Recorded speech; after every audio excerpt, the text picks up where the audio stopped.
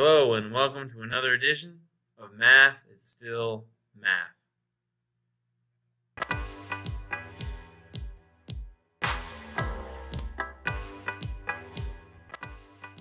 Well, it's here is math night. I'm glad y'all made it.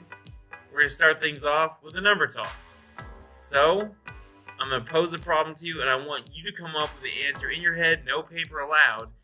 Fact, not only do I want you to come up with a way to solve this problem, I want you to come up with as many ways to solve it as possible. Ready? Remember, no paper, no calculators, all mental. Let's go. Well, here it is 35 minus 12. Now, like I said, I want you to come up with the answer and then see if you can come up with another way to get that answer. Really think about how you came up with it. Here are a few possibilities. Now, pause the video if you don't want to see them right away. Maybe you subtracted the tens places and subtracted the ones places and then put them together.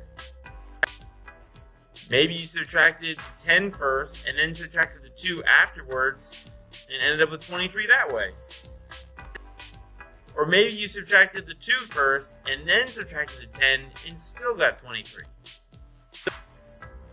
Maybe you peeled 2 off each of your numbers, so you have 35 minus 12 has become 33 minus 10, and you still get 23 that way. The point is, there are many ways to solve this problem, even without a calculator or paper. But there's one way I'm going to advocate for thinking in a higher level, and that is integers.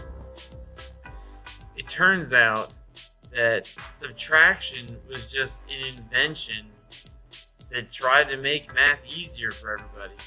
Because every subtraction problem is actually the addition of a negative number.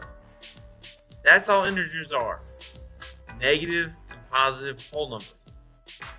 So when you hear 35 minus 12, what I hear is 35 plus a negative 12.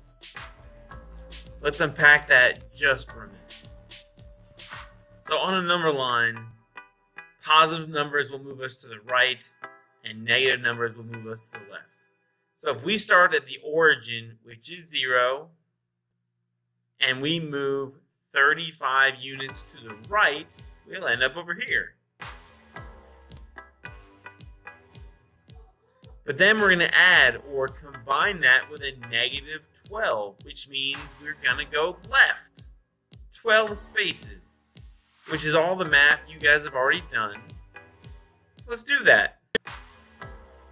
So we would still end up at 23. So no matter how you imagine subtracting 12 from 35, whether you split it up into tens and ones, or you use compatibility rules and make it into 33 minus 10, or if you reach outside and you start using integers by adding a negative number, you will still come up with the same answer.